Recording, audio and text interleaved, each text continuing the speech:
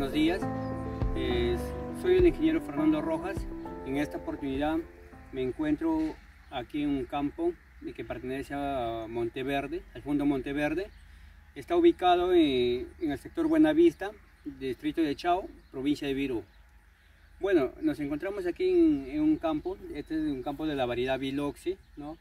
Eh, aquí hemos trabajado con el producto Fitomax para control de Fitóptera.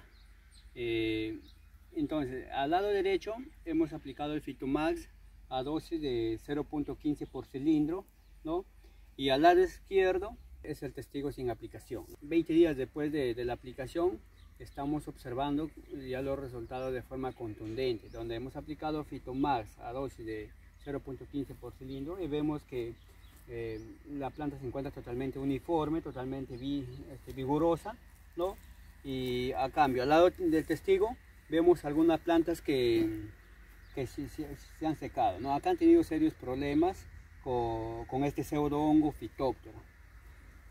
Como vemos, y aquí en el testigo, vemos este, algunas plantas eh, aún con, con los síntomas característicos que presenta, que presenta este pseudohongo, fitóptora, ¿no?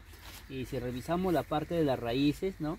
Las raíces se ve un necrosamiento de color café. Y esos son los síntomas característicos que presenta este, este pseudohongo. Y estos síntomas de las cuales eh, se ve también eh, a nivel de cuello, ¿no? Un color negruzco, color café. Y esto eh, nos representa la parte aérea, ¿no? Un decaimiento, un amarillamiento o una clorosis general como visualizamos en esta planta.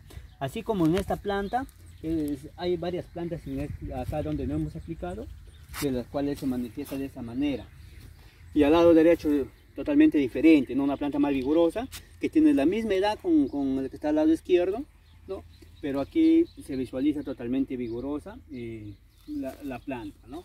y, casi, y no ha habido mortalidad en esta parte.